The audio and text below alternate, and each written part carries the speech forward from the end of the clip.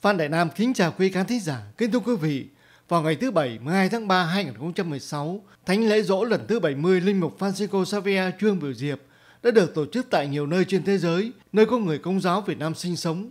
Riêng tại cộng đoàn Westminster, thành phố Westminster, miền Nam Cali đã tổ chức thánh lễ dỗ với sự tham dự của Đức cha Mai Thanh Lương, các linh mục và hàng ngàn giáo dân.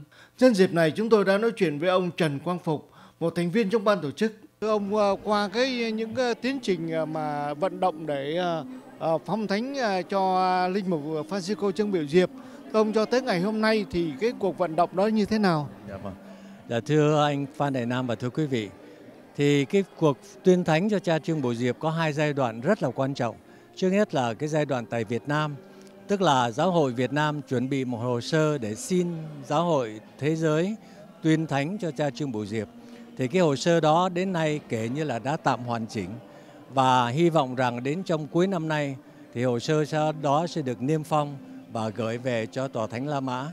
Và cái thời gian cứu xét tại Tòa Thánh La Mã thì sẽ xảy ra chừng trong vòng 6-7 năm trời. Và chúng ta đang hy vọng rằng với sự cầu nguyện và cái sự yểm trợ của quý vị thì hồ sơ đó hy vọng sẽ được kết thúc vào năm 2020, hay xin lỗi vào năm 2022. Khi đó Đức Giáo Hoàng sau khi đã chấp nhận cái hồ sơ rồi thì sẽ cho tuyên phong chân phước cho cha Trường Bồ Diệp rất long trọng tại Việt Nam và sau một thời gian nữa thì từ chân phước mới tiến lên là hiển thánh của giáo hội. Và khi là hiển thánh của giáo hội rồi thì tới ngày lễ dỗ của cha Trường Bồ Diệp, tất cả toàn thể giáo hội Hoàn Vũ sẽ dâng thánh lễ cầu nguyện cho trên Bùi Diệp và đó là một cái niềm vinh danh rất lớn lao cho người Việt Nam của chúng ta. Ngày đó tất cả mọi người trên thế giới, mọi người công giáo sẽ được noi gương nhìn lên cha Trương Bồ Diệp như là một tấm gương sáng và cầu nguyện với Ngài cho tất cả những nhu cầu mà ngày hôm nay người anh em Việt Nam của chúng ta đang có cái cơ hội đó. Dạ, thưa ông, ờ, chúng tôi có một cái thắc mắc nhỏ là ở ờ, bên ờ, Hoa Kỳ này số cộng đồng người Việt ở đây rất đông không hiểu tại sao là cái văn phòng chính mà vận động phong thánh lại nằm ở bên Canada thưa ông? Dạ thưa vì thế này, linh mục mà được chọn là cáo thỉnh đó, tức là một người mà ở bất cứ nơi nào. Và một cha được gọi là cáo thỉnh được chọn là cáo thỉnh đó phải là một người có rất là nhiều background có rất nhiều um, uh, về học vấn về giáo luật về tiến trình phong thánh cũng như về đạo đức về lịch sử. Và cái người ứng viên đó là ứng viên của là cha Trần Thế Tuyên là người đã có tất cả những cái qualification cần thiết để mà cho ngài được chọn làm uh, làm cáo thỉnh viên và cộng đồng đó thì cái vị cáo thỉnh viên đó có thể là ở Việt Nam cũng được nhưng mà kiếm được một người ứng viên mà có nhiều đầy đủ những cái um, tư cách cũng như nhiều cái uh, uh, yếu tố thì để làm cáo thành viên thì cha Tuyên là một ứng viên sáng giá nhất. Yeah. Buổi lễ được bắt đầu với phần dương hương trước bàn thờ và tượng cha Trương Biểu Diệp cùng ba hồi chuyên trống.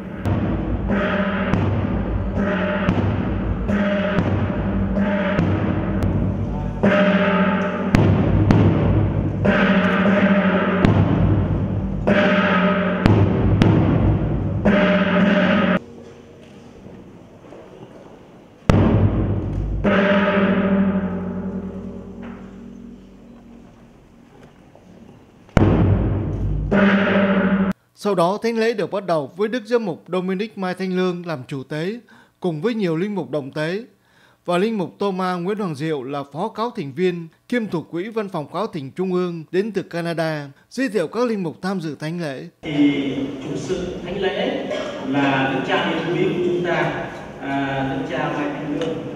À, xin chúng ta cho ngài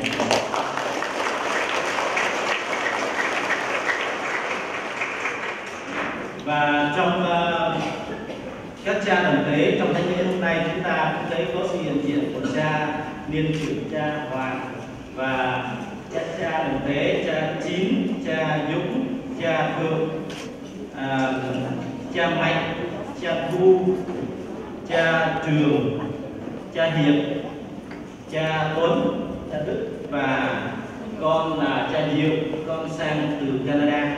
Và Dạ, lễ cho buổi lễ của chúng ta hôm nay. Chúng ta có thấy thầy uh, sáu bình kính thưa quý cha thầy sáu và quý khách đặc biệt là những người không phải là công giáo. Vì lòng yêu thương cha Francisco Trương bổ Diệp chúng ta đến đây để dâng thánh lễ dỗ 70 năm. Xin ngài cầu cùng Chúa cho chúng ta cho tất cả những ai xin lễ trong ngày hôm nay để cử hành thánh lễ cho xứng đáng chúng ta dành giây phút thinh linh thinh lặng này để xin Chúa tha thứ lỗi lầm để chúng ta cùng hiệp ý với nhau trong thánh lễ sáng nay. Sau các bài đọc lời Chúa là phần giảng thuyết của Linh Mục Nguyễn Hoàng Diệu.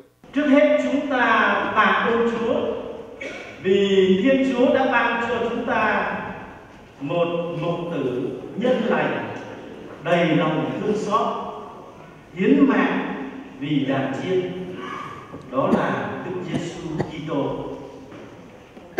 Chúng ta cũng tạ ơn Chúa vì Chúa đã ban cho cách riêng dân tộc Việt Nam chúng ta thêm một mục tử mẫu mực. Đó là cha Francisco Xavier Trương Bửu Diệp mà chúng ta mừng lễ chỗ hôm nay.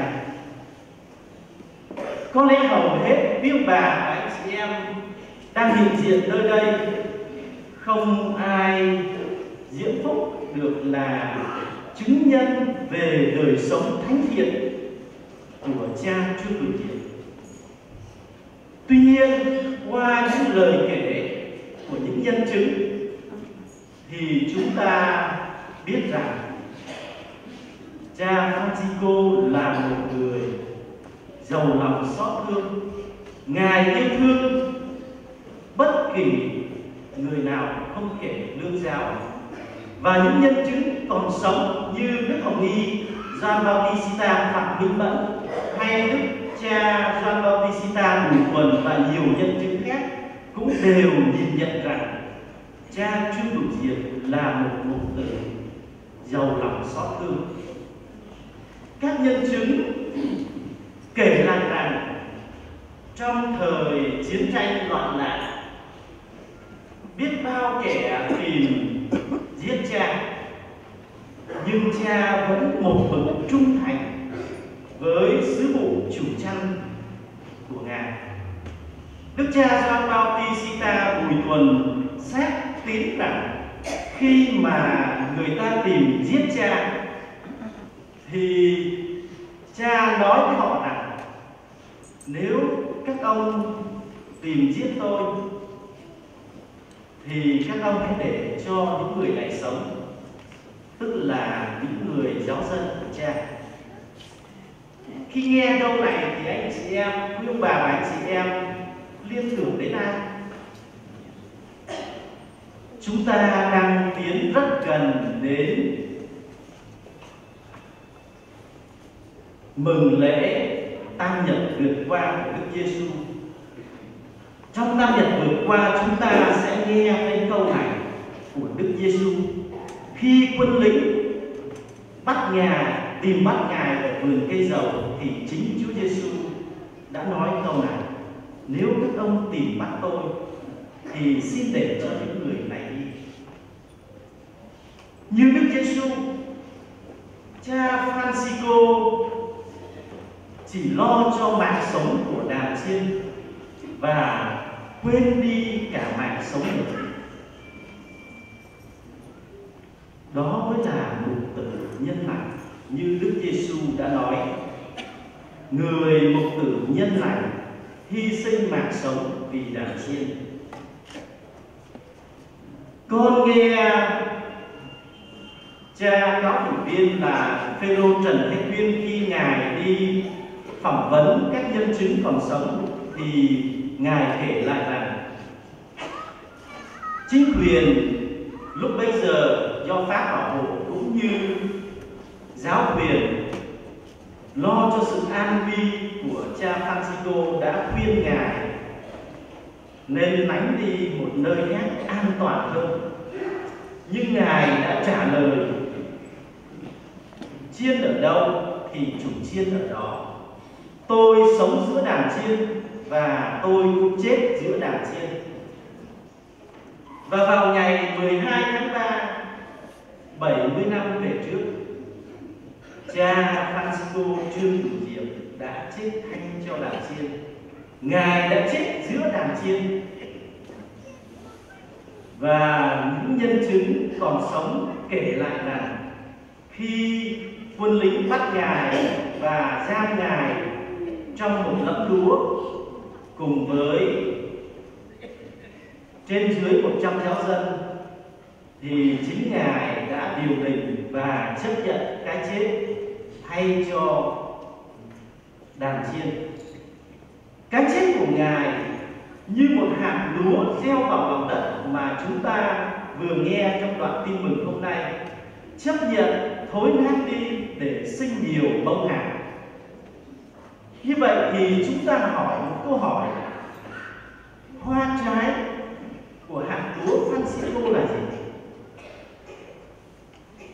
Nếu biết bà và anh chị em có dịp đi qua tắc sậy khoảng 20 năm về trước, và bây giờ thì chúng ta sẽ có thấy rất nhiều những thay đổi con nhớ một năm 1993 khi con đi giúp xứ ở dưới Cà Mau, tức là cách tắc sậy không bao xa. Thì con có nhiều dịp đi qua đi lại, tắc sậy và ghé thăm nhà thờ tắc sậy. Nơi lúc đó, nhà thờ chỉ là một ngôi cánh tường rất nhỏ, nằm ở giữa một khu đất hoang. Chung quanh là đồng lúa và cỏ hoang. Nhưng ngày nay, nếu biết bà và anh chị em có dịp về Việt Nam và đi ngang qua tắc sậy thì chúng ta thấy rằng nơi đây đã trở thành một trung tâm hành hương rất lớn. Có thể nói rằng lớn nhất gì ở Việt Nam bây giờ. Và hàng năm cái trung tâm du lịch tâm linh này thu hút hàng trăm ngàn người bất kể tôn giáo. Và bây giờ có cái người à, quản lý trung tâm đó là cha bạn của con cho con hay rằng là tới 6 70 phần trăm những người hành hương đến tác sận ngày nay là những người không công giáo. Điều đó cho chúng ta thấy rằng cha Francisco đã yêu thương mọi người không kể lương giáo. Và khi ngài còn sống cũng như khi ngài đã qua đời, ngài đều thực hiện cái lòng thương xót của Chúa Giêsu lòng thương xót vượt qua mọi giới hạn, vượt qua mọi phân biệt tôn giáo để đến với mọi người. Đó là những gì chúng ta thấy nơi cha Francisco.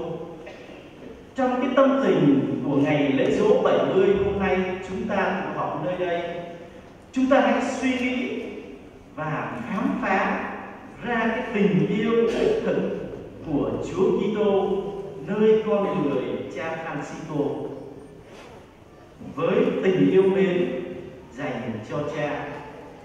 Chúng ta hãy cố gắng noi gương ngài để làm lan tỏa cái tình yêu đó đến với mọi người. Cha Francisco đã sống đời sống yêu thương bác ái với mọi người, thì chúng ta hãy suy nghĩ cái tình yêu đó của ngài trong cuộc sống chúng ta chúng ta hãy sống và noi gương cha. Hãy sống tình yêu của Đức Kitô và làm cho tình yêu đó lan tỏa đến mọi người, đặc biệt những người chưa biết Chúa, như cha Francisco. Thì khi chúng ta làm như vậy, cái việc chúng ta yêu mến cha với có ý nghĩa tạ ơn cha Francisco vì qua ngài biết bao người trong chúng con đã nhận được ơn lành của Chúa tạ ơn ngài vì qua ngài biết bao người không biết Chúa đã tìm biết Chúa sau đó thánh lễ đã được tiếp tục theo các nghi thức phụng vụ và trước khi kết thúc thánh lễ, ông Nguyễn Văn Hưởng, trưởng ban tổ chức, đã lên có đôi lời với cộng đoàn dân Chúa. Kính thưa Đức Cha, quý cha và quý vị, lòng thương xót không bao giờ chết. Đây là lời của Đức Thánh Cha Francisco. Ngài đã nói trong một dịp tại Pennsylvania. ngài nói phải chăng đó là học thuyết của giáo hội công giáo để trả lời cho câu hỏi này hôm nay đức cha quý cha và toàn thể quý vị hiện diện đông đảo trong ngôi thánh đường nổi tiếng của giáo phận Oren hôm nay. Lòng thương xót không bao giờ chết. Thực vậy, vì lòng thương xót vị mục tử Francisco Xavier Trương Việt Việt bị chiếm đầu cách đây đã 70 năm. Một thời gian không dài và cũng không ngắn đủ để cho người Kitô hữu chúng ta cảm nhận được cái chết của ngài. Phải chăng ngài bị chém đầu vì tội hay vì tha nhân và hay vì đàn chiên của ngài? Thưa đức cha và quý vị, câu hỏi ấy những thắc mắc ấy hôm nay được đức cha, quý cha đồng tế quý tu sĩ nam nữ quý khách và chức sắc trong giáo hội công giáo hiện diện trong thánh đường này để dâng thánh lễ cầu nguyện cho vị mục tử Francisco Xavier Trương Hữu Diệp sớm được hưởng vinh phúc trên trời cùng với các thánh nam nữ ngày đêm ca tụng lòng thương xót của Thiên Chúa. Đức cha, quý cha và quý vị hiện diện trong thánh lễ hôm nay và để cho chúng con cảm nhận được rằng chúng con là những người hậu thế, tỏ lòng biết ơn sự hy sinh và quý trọng tinh thần dẫn thân phục vụ nước Chúa nơi trần gian của cha Francisco.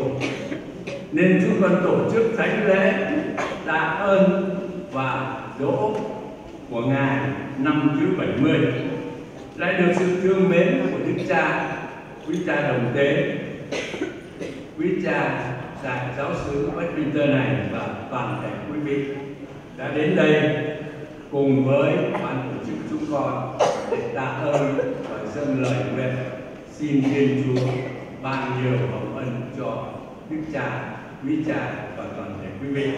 Kế đến Linh Mục Nguyễn Hoàng Diệu đã trình diện văn phòng đại diện cáo thỉnh tại Hoa Kỳ. Trước hết con xin giới thiệu về ban cố vấn gồm có ông bà cố chú xem văn hưởng. À, con người ông cố ông cố thì ai cũng thấy rồi. Con uh, xin giới thiệu là trong ban cố vấn cũng gồm có ông bà cố uh, Maria Nguyễn Thị Toan uh, à, bà lời bà cố. Và ban một người nữa ông bà cố ở trong ban cố vấn là ông bà cố Nam Minh. Đặng Văn Xuân, ông bà cố Thanh Sơn thì các ai cũng uh, biết rõ mời ông bà cố. Bà cố đẹp quá thì lên cho người ta ngắm cái và đại diện cho văn phòng và giáo tỉnh thì gồm có anh ông chủ tịch Phêrô Nguyễn Văn Học.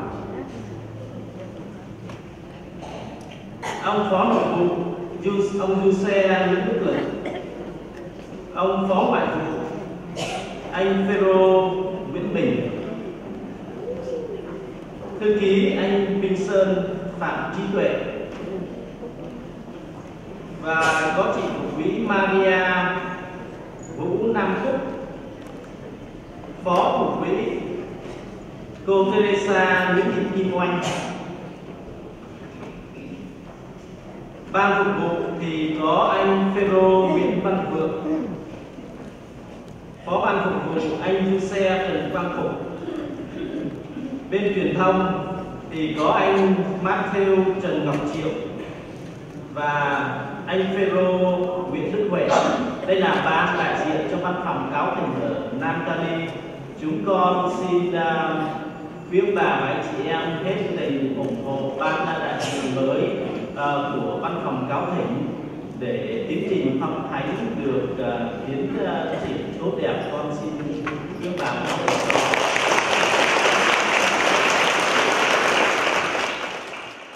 năm xưa khi khó nguy cha đã về con dâng thân xác. Kính thưa quý khán thính giả, Thánh lễ dỗ lần thứ 70 Linh mục Francisco Xavier Trương Bửu Diệp. Sau các nghi thức phụng vụ Thánh lễ đã kết thúc bằng phần ban phép lành của Đức Giám mục Mai Thanh Lương và sau đó mọi người sẽ có buổi tiền dỗ và tìm hiểu thêm những chi tiết về án tuyên thánh qua sự giải đáp của Linh mục Nguyễn Đăng Diệu đến từ Văn phòng Cáo tỉnh Trung ương Canada. Và chúng tôi cũng xin chấm dứt phóng sự nơi đây. Xin hẹn quý vị vào những chương trình kế tiếp.